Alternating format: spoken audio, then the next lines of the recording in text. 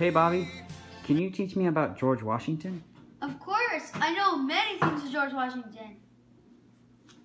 I'll show you. Follow me. Hello, this is the first fact of George Washington.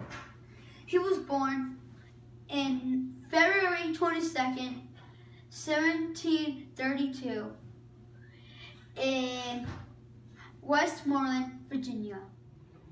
Did, did you know that George Washington started school when he was six years old? Then he stopped it at the age of 15 because his mother couldn't afford to take him to college. Hello, back to George Washington's. This is the third fact of George Washington's life. He married a woman named Martha Custis and had two stepchildren at the age of 26. George Washington led the Continental Army from victory from, from the British in the Revolutionary War. George Washington was president when he was 57. He became president in 1789 to 1797. His vice president was John Adams.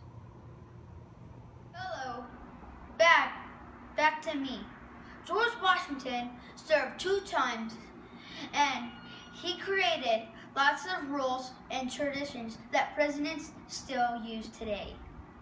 A few years later, George Washington died of a bad case of pneumonia in 1799. Thanks, Bobby, for helping me with uh, learning about George Washington. It helped a lot. Yeah, anything for you, Kevin.